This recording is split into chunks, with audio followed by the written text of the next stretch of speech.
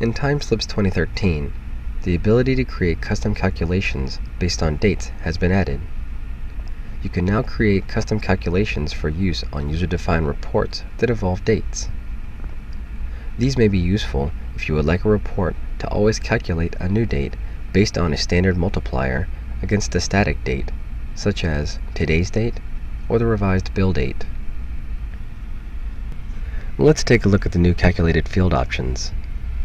Navigate to Reports in your main toolbar and choose Client.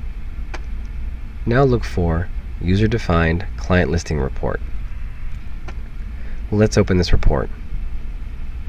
Look for your Design Report button on the right-hand toolbar and click it. Make sure you are in the Client Details or Totals section. In your Field Group toolbar on the right-hand side, choose Calculated Fields. Let's choose New Calculation.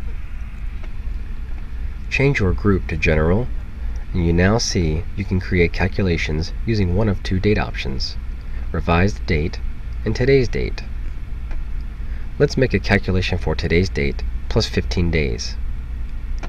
Drag today's date over to the left-hand side, choose the plus symbol, and type the number 15. Make sure your format is changed to date and name your calculation. That's it. You have now created your custom date calculated field.